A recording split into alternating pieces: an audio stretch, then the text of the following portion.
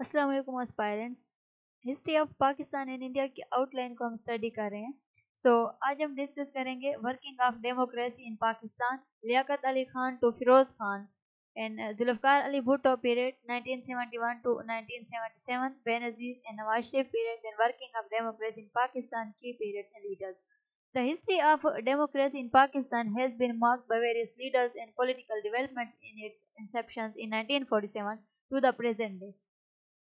Pakistan में जो जमहूरियत का काम है, पाकिस्तान में जमहूरियत की तारीख 1947 में क्या पाकिस्तान से लेकर आज तक मुख्तफ रहनुमाओं और सियासी तब्दीलियों से भरपूर है।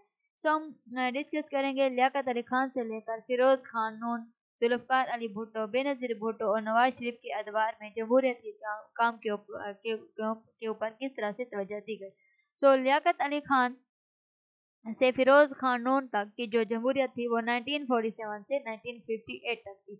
Liaquat Ali Khan first prime minister थे और पहले पाकिस्तान के वज़ीर अजम बने थे और अगस्त उन्नीस से अक्टूबर उन्नीस सौ इक्यावन में उनके कतल तक वज़ीर अजम के अहदे पर वो फायज रहे थे।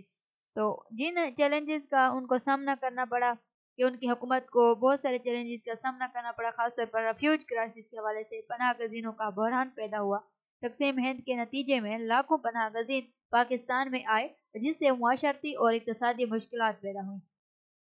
और फिर मसला कश्मीर था। भारत के साथ कश्मीर के मसले ने उनके दौर हुकूमत में बड़ी अहमियत हासिल की थी। उनके दौर हुकूमत में जो की पॉलिसीज़ थी फॉरेन पॉलिसी और इकोनॉमिक मेयरमेंट तो उन्होंने सर्द जंग के दौरान गैर जानबदार पॉलिसी अपनाई थी, लेकिन अमेरिका के साथ करीबी ताल्लुक कायम किए। देन इकोनॉमिक मैस इकतसाद इकदाम किया गया उनके दौरे हुकूमत में। उन्होंने मीशत को मस्तकम करने और पनाह गजीनों के मसाइल के हल के लिए भी पॉलिसियाँ नाफिज की। उसके बाद ख्वाजा निज़ामुद्दीन आए 1951 टू 1953 तो ख्वाजा निज़ामुद्दीन को क्यादत मुंतकिल हो गई थी। लियाकत अली खान के कत्ल के बाद ख्वाजा निज़ामुद्दीन वज़ीर अजम बने। Then political instability, his term was marked by political instability and challenges, including opposition from the Muslim League and other political factions. तो उनका जो दौर था, वो सियासी अदम इसकाम और चैलेंजेस से भरा हुआ था, जिनमें मुस्लिम लीग और दीगर सियासी धड़ों की मुखालफत भी शामिल थी दिन बरतरफी अप्रैल उन्नीस सौ तिरपन में 1953 में उन्हें गवर्नर जनरल ने बरतरफ कर दिया, जिससे जमहूरी हुक्मरानी पर सवाल उठने लगे उसके बाद मोहम्मद अली बोगरा 1953 टू 1955 मोहम्मद अली बोगरा ने सियासी हलचल के दौरान वज़ीर अजम का अहदा संभाला था। देन कॉन्स्टिट्यूशनल रिफॉर्म्स आई, यानी आइन असलाहत की गई। तो उन्होंने मुल्क में सियासी इंतशार को कम करने के लिए एक नए आइन के ऊपर बातचीत का आगाज़ किया। पॉलिटिकल चैलेंजेस का सामना था उनको। His government face opposition from various quarters including the Awami League which demanded greater autonomy for East Pakistan उनकी हुकूमत को अवामी लीग की तरफ़ से सख्त मजामत का सामना करना पड़ा, जिसने मशरकी पाकिस्तान के लिए ज़्यादा खुद मुख्तारी का मुतालबा कर दिया।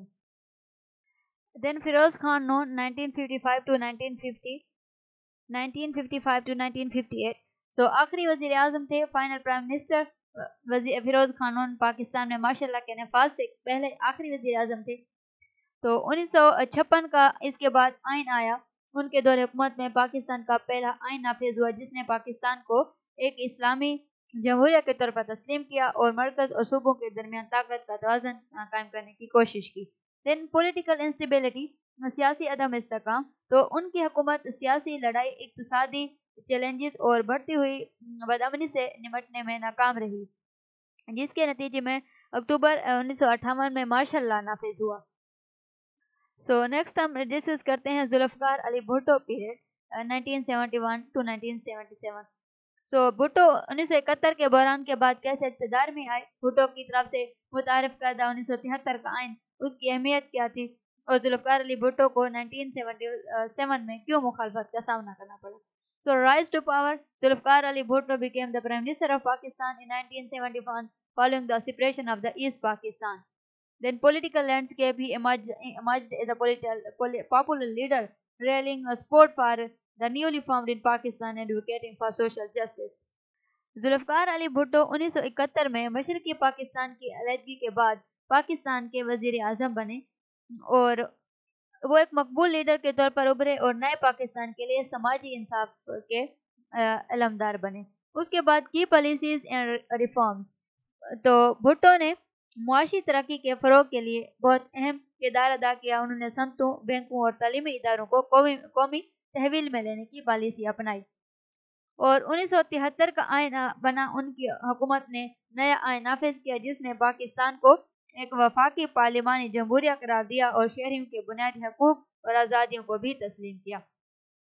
सोशल रिफॉर्म्स हुई भुट्टो के दौर में भुट्टो ने ज़मीन की असलाहत और तालीम और सेहत के शोबों में बेहतरी के ऊपर तवज्जो दी। And aiming to uplift the marginalise section of society और मतलब के समाज के जो पसमानदा तबकात हैं, उनको आगे बढ़ाने का मौका दिया जाए। Then challenges and downfall opposition in unrest and unrest in 1977 elections तो भुट्टो को मजहबी जमातों और अवामी मुस्लिम लीग की कई सियासी दलों की मुखालफत का सामना करना पड़ा। फिर उन्नीस सौ सत्तर के इंतबात हुए। जुलाई उन्नीस सौ सत्तर में जनरल जियाउल हक ने फौजी बगावत करके भुट्टो की हुकूमत का खात्मा कर दिया और मार्शल नाफिज कर दिया। सो उसके बाद बेनज़ीर भुट्टो और नवाज़ शरीफ का दौर आया। तो बेनज़ीर भुट्टो की वो पहली प्राइम मिनिस्टर बनी, फीमेल फीमेल प्राइम मिनिस्टर बनी, इस्लामी दुनिया की पहली खातून वज़ीर अजम बनी। और बेनज़ीर भुट्टो ने दिसंबर 1988 में 1988 में पाकिस्तान की पहली खातून वज़ीर अजम का हलफ उठाया और पाकिस्तान पीपल्स पार्टी की नुमाइंदगी उन्होंने की। सो, उनकी जो पॉलिसीज़ थी, उनकी हुकूमत ने समाजी तौर पर असलाहत की और ख़वान के हकूक और इकतदी लिबरलाइजेशन के ऊपर उन्होंने तोज्जह दी। और कुछ चैलेंजेस का भी उनको सामना करना पड़ा। She faced opposition allegation of corruption in political instability so her first term ended in nineteen president Ghulam Ishaq Khan dismissed her government then second term, bhutto returned to power in 1993 but was dismissed dismissed again in 1996 due to political infighting and corruption allegations.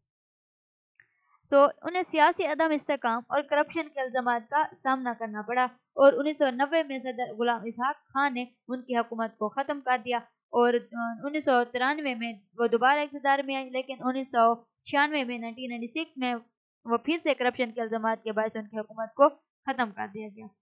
सो उसके बाद नवाज़ शरीफ का दौर हुकूमत आया 1990 then 1993 1997 and 1999 तो first term की अगर हम बात करते हैं तो नवाज़ शरीफ जो पाकिस्तान मुस्लिम लीग नून की नुमाइंदगी कर रहे थे तो नवंबर उन्नीस सौ नब्बे में वो वज़ीर अजम बने थे और इकतदी असलाहत उन्होंने की निजकारी और इकतदी लिबराइजेशन के ऊपर तवज्जो दी जिससे कुछ मुआशी तरक्की हुई। सो उनकी हुकूमत को बरतरफ कर दिया गया 1993 में और लेकिन बाद में उनकी बे, उन्होंने बेनज़ीर भुट्टो की पार्टी के साथ इतिहाद करके दोबारा इकतदार हासिल कर लिया। फिर उनका सेकेंड टर्म आया तो नवाज़ शरीफ ने 1997 में दोबारा वजी अजम का हलफ उठाया और उन्होंने अहम इकतदी असलाहत की, एक मतनाज़ा जौहरी पॉलिसी भी अपनाई। तो उनके जो दूसरे दौर में सियासी कशीदगी और अदलिया से तनाज़ात पैदा होते हैं। देन मिलिट्री इंटरवेंशन अक्टूबर 99 में नवाज़ शरीफ ने जनरल परवेज मुशरफ को बरतरफ करने की कोशिश की, जिसके नतीजे में फौजी बगावत हुई और मुशरफ की हुकूमत कायम हो गई। So working of democracy in Pakistan has experience significant ups and down shaped by the leadership of key figures such as Ali Khan, Ali Bhutto, Benazir Bhutto, and Nawaz Sharif. From the initial struggles of the newly formed no nations to the political reforms and challenges faced by successive leaders, Pakistan's democratic journey has been complex and tumultuous. So Pakistan में जो जमहूरियत का सफ़र था वो अहम रहनुमाओं जैसे लियाकत अली खान जुल्फ़ार अली भुट्टो बेनज़ीर भुट्टो और नवाज़ शरीफ की क्यादत के जेर असर रहा और नए वजूद में आने वाले मुल्क की इब्तदाई मुश्किल से लेकर सियासी असलाहत और चैलेंजेस तक पाकिस्तान की जमहूरी जदोजहद पेचीदा रही और कई इसके अंदर अप्स एंड डाउन आते हैं।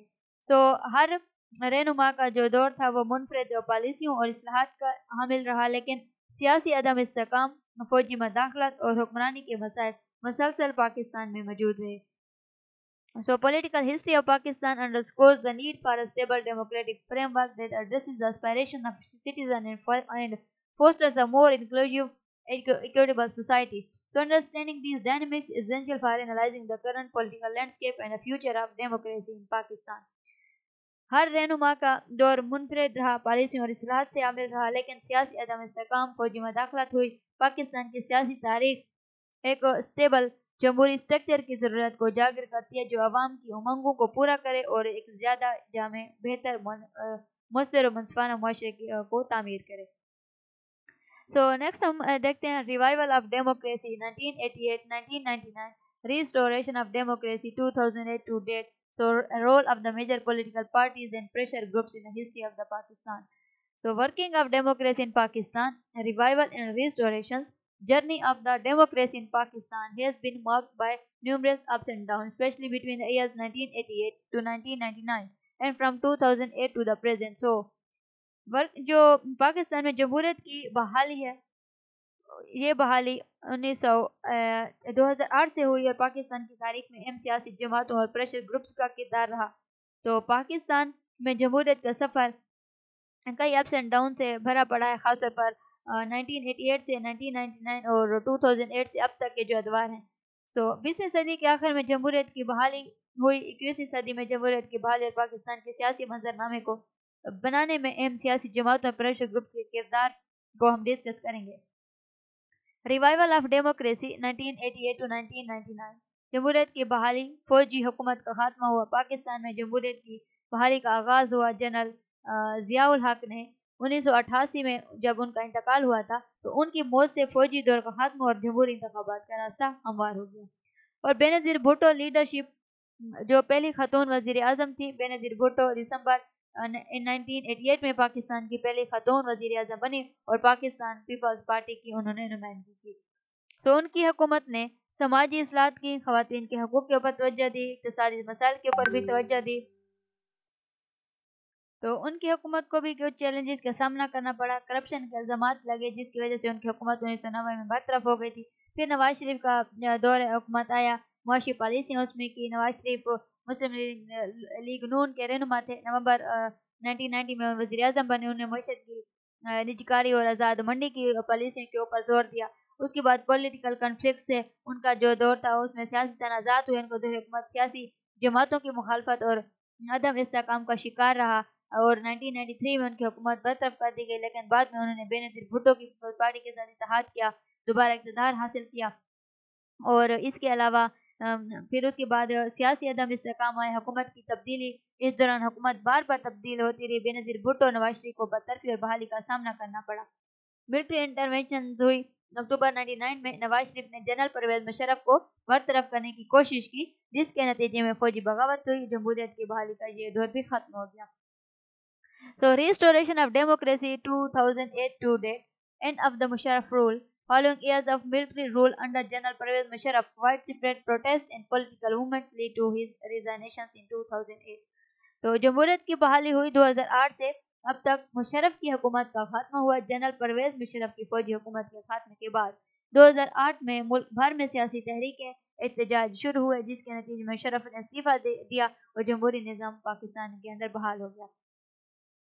उसके बाद आसिफ अली जरदारी की यानी कि उन्होंने सदारत की और उनकी पीपल्स पार्टी की उन्होंने क्यादत की और मुशरफ के इस्तीफे के बाद आसिफ अली जरदारी, जो बेनज़ीर भुट्टो के शोर थे और पीपल्स पार्टी के शरीक चेयरमैन थे तो वो सदर बन गए।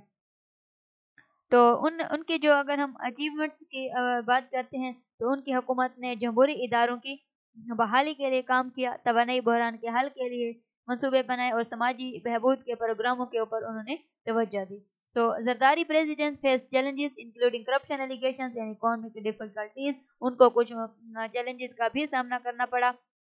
जरदारी की सदारत को करप्शन के अल्जाम और मौसम मुश्किल का सामना रहा so Nawaz Sharif third term 2013 thousand thirteen to to election victory Nawaz Sharif return to power in the 2013 elections emphasizing economic reforms infrastructure development and energy projects.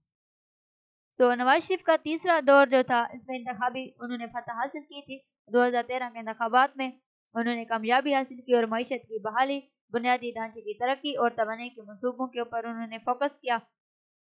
फिर पोलिटिकल इशूज़ है यानी सियासी मसाइल उनके दौरे हुकूमत को मुखालिफ जमातों की जानब से चैलेंजेस और करप्शन के इल्ज़ाम और हुकूमती मसाइल का सामना करना पड़ा so dismissal Nawaz Sharif was disqualified from the office in two thousand seventeen by the Supreme Court over corruption charges leading to political instability. So उनको, उनकी जो तीसरा दौर भी ख़त्म हो गया 2017 में, उनके दौर हुकूमत को मुखालिफ जमातों की जानब से भी चैलेंजेस और करप्शन के इल्ज़ाम का सामना करना पड़ा। 2017 में सुप्रीम कोर्ट ने नवाज़ शरीफ को करप्शन के इल्ज़ाम के ऊपर नाअहल करार दे दिया जिससे मुल्क में सियासी अदम इसकाम पैदा हो गया। सो so, उसके बाद इमरान खान टेन्योर आया 2018 to 2022 PTI leadership Imran Khan leader of the Pakistan Tehreek Insaf become the prime minister after the 2018 elections focusing on anti-corruption measures, economic reforms and welfare initiatives. तो इमरान खान के दौर हुकूमत में उन्होंने पीटीआई की क्यादत की। इमरान खान जो पाकिस्तान तहरीक इंसाफ के रहनुमा हैं तो 2018 के इंतबात के बाद वो वज़ीर अजम बने और करप्शन के खिलाफ इकदाम मुआशी असलात और फलाई मनसूबों के ऊपर उन्होंने ज़ोर दिया। सो so, उनकी जो हुकूमत थी उनमें उनको मुआशी तौर पर भी चैलेंजेस का सामना करना पड़ा जिसमें हिजब इख्लाफात के भी एहतजाज रहे और कोविड नाइन्टीन की वबा के असरा का भी इस हुकूमत को सामना करना पड़ा। सो अदम अतमाद की तहरीक लाई गई पाकिस्तान तहरीक इंसाफ की हुकूमत के खिलाफ। और 2022 में इमरान खान की हुकूमत को अदम अतमाद की तहरीक का सामना करना पड़ा, जिसके नतीजे में उनको इकतदार से हटा दिया गया। सो करंट पॉलिटिकल क्लाइमेट्स देखें तो शहबाज शरीफ उसके बाद वज़ीर आज़म बने और शहबाज शरीफ की क्यादत इमरान खान की हुकूमत के खात्मे के बाद, जो कि नवाज़ शरीफ के भाई मुस्लिम लीग नून के रहनुमा शहबाज शरीफ वज़ीर अजम बने। और उनकी हकुमत मीशत की बहाली और कौमी चैलेंज को हल करने के ऊपर तवज्जो उसने दी। Political instability the political environment remains contentious with ongoing challenges from opposition parties and pressure groups सियासी अदम इसकाम मुल्क में पैदा हुआ, मुल्क का सियासी माहौल तहाल कशीदा है और अपोजिशन जमातों और प्रेशर ग्रुप्स की जानब से मसलसल चैलेंज का सामना है। So role of the major political parties and pressure groups major political parties जो पाकिस्तान में हैं, उनके क्या किरदार है और प्रेशर ग्रुप्स का क्या किरदार है? तो पाकिस्तान पीपल्स पार्टी जुल्फकार अली भुट्टो की एक कायम करदा ये जमात है और पाकिस्तानी सियासी, सियासत में इसने बहुत अहम किरदार अदा किया है, जो समाजी इंसाफ हो या जमहूरियत और माशी असलात की ये पार्टी हामी रही है। Then Pakistan Muslim League Noon lead by the Nawaz Sharif, this party has focused on economic development, infrastructure and privatizations and has been a significant player in the democratic process. Muslim League Noon Nawaz Sharif की क्यादत में ये जमात मुआशी तरक्की और basic infrastructure की तरक्की और निजकारी के ऊपर तवज्जो देती रही और में इस जमात ने भी बहुत अहम किरदार अदा किया सो नेक्स्ट है Pakistan Tehreek Insaf Founded by Chairman Imran Khan, PTI emerged as a major political force advocating for anti-corruption and social welfare. So its rise marked the shift in the political landscape. तो chairman Imran Khan की क्यादत में PTI एक बड़ी सियासी तहरीक बनकर उभरी जो करप्शन के खिलाफ और समाजी बहबूद के हामी नारे के साथ सियासी मंजरनामे में तब्दील हुई सो so, अगर हम स्टडी करते हैं प्रेशर ग्रुप्स को प्रेशर ग्रुप्स का क्या किरदार रहा सिविल सोसाइटी तंजीमें हैं इसके अंदर मीडिया और प्रेस है तलबा और मजदूर यूनियन इसके अंदर आते हैं। तो ये प्रेशर ग्रुप्स कहलाते हैं। Civil society organisation various N G and civil society groups have played a crucial role in advocating for human rights, women rights, and social issues, contributing to democratic discourse. So, मुख्तलिफ़ N और civil society के groups ने इंसानी हकूक खातन के हकूक समाजी मसाइल के लिए आवाज़ उठाई और जमहूरी गुफ्तु में बहुत अहम किरदार अदा किया। प्रेशर ग्रुप्स के अंदर आते हैं मीडिया और प्रेस। मीडिया ने जमहूरियत के फ़रोग में बहुत अहम किरदार अदा किया सियासतदानों का एहतसाब किया और आवाम में सियासी शूर बेदार करने में बहुत अहम किरदार अदा किया। Then student and labor unions, student movements and labor unions have historically mobilized against authoritarian authoritarianism demanding democracy and worker rights तो तलबा की तहरीकें और मजदूर यूनियन हमेशा से आमरान हुकूमतों के खिलाफ मुतहरिक रही हैं और जमहूरियत और मजदूरों के हकूक़ के लिए आवाज़ बुलंद करती रही हैं। सो पाकिस्तान में जमहूरियत की बहाली और बहाली ने बीसवीं सदी के आखिर से लेकर इक्कीसवीं सदी तक अहम सियासी तरक्यात देखी। हर मरहले में अहम सियासी शख्सियात, सियासी जमातों और प्रेशर ग्रुप्स ने मुल्क के जमहूरी मंजरनामे को तश्कील दिया। So while the revival of democracy in the late 1980 and the 1990 faced numerous challenges, the restoration of the democracy since 2008 has provided opportunities for political engagement and governance reforms. The roles of the major political parties and the pressure groups have been crucial in shaping the democratic landscape, advocating for citizen rights and holding the government, government accountable. Pakistan में जमहूरियत की बहाली हुई जहां 1988 80 और 1990 की दहाई में जमहूरियत की बहाली को चैलेंजेस का सामना रहा वहाँ 2008 से जमहूरियत की बहाली ने सियासी शिरकत और हुकूमती असलाहत के लिए भी मौके फराम किए तो अहम सियासी जमातों और प्रेशर ग्रुप्स ने मुल्क के जमहूरी ढांचे को भी मज़बूत बनाया अवाम के हकूक किया तहफ़ किया, हुकूमत के एहतसाब करने में बहुत अहम किरदार अदा किया so despite progress made Pakistan continues to face challenges in establishing a stable and effective democratic system. The ongoing political struggles highlight the need for continuous efforts to strengthen democratic institutions and promote inclusive governance. So, understanding these dynamics is essential for assessing the future of democracy in Pakistan and the aspirations of its people. Pakistan को एक मुस्तकम और मौसर जमहूरी निज़ाम के क्याम में मुसलसल मुश्किल का सामना है मौजूदा सियासी कशमकश ये ज़ाहिर करती है कि जमहूरी इदारों को मज़बूत करने और बेहतर हुक्मरानी के को प्रमोट करने के लिए मुस्तकिल कोशिशों की ज़रूरत है और इन तमाम फैक्टर्स का अदराक पाकिस्तान में जमहूरियत के मुस्तबिल और आवाम के ख्वाहिशात का जायज़ा लेने के लिए ज़रूरी है। सो हमने डिस्कस किया पाकिस्तान में जमहूरियत का क्याम, लियाकत अली खान से फ़िरोज़ खानून तक 1947 से 1958 के लियाकत अली खान के बतौर वजी अजम बड़े चैलेंजेस क्या थे? ख्वाजा निज़ामुद्दीन को 1953 में क्यों बरतरफ किया गया? फिर हमने जायज़ा लिया कि पाकिस्तान का जो आइन था उसमें मोहम्मद अली बोगरा ने यानी कि क्या पाकिस्तान के में क्या किरदार अदा किया, फिरोज कानून के तहत उन्नीस सौ अट्ठावन में मार्शल के ऐलान का, ऐलान क्यों किया गया? फिर हमने जुल्फ़ार अली भुट्टो के दौर का जायजा लिया।